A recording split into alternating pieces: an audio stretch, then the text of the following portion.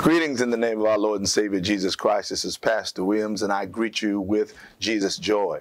Listen, I'm excited to invite you to two exciting weekends. The first weekend is the one that's coming up, the weekend of the 9th and the 10th. It's Palm Sunday weekend, but it is also the weekend where we celebrate 107 years of ministry as the Bates Memorial family. It's going to be exciting. We've got uh, Dr. Gina Stewart from Memphis, Tennessee. Christ Missionary Baptist Church is going to be our speaker. She's probably one of the greatest speakers on the planet. Jason Clayborn uh, and the Atmosphere Changers are going to be with us. It's going to be an exciting time. You do not want to miss it. And then the next weekend, of course, is Easter weekend. And listen, we're going to have a great time Easter weekend as well.